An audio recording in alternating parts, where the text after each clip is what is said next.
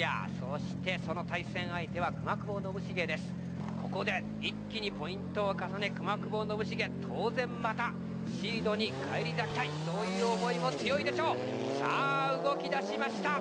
まずは熊久保信繁先行。あとい君の哲也の一歩。下ですどうした打ってきたしかし熊久保がそれから放ってきた同時に振った状態でさあどうだ熊久保が熊久保が逃げるそしてジャイアンが追いかける悪の煙これは若干差があるかこれは両者ともにいっぱいいっぱいの状況で駆け抜けていきました。両者ともにミスはありませんがそのパフォーマンスの差がちょっと先行の熊久保の方があったかなと。ありましたね。いうことですね。日比野哲也先行。あとい熊久保信繁。きたー！熊久保！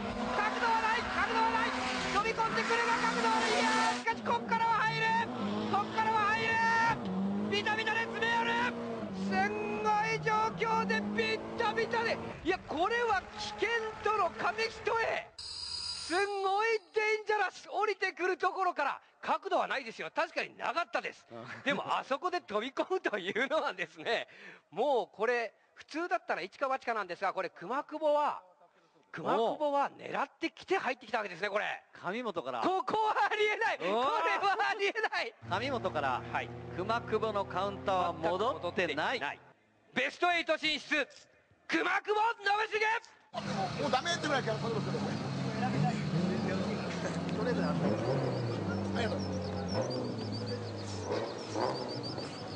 りがとう。畜生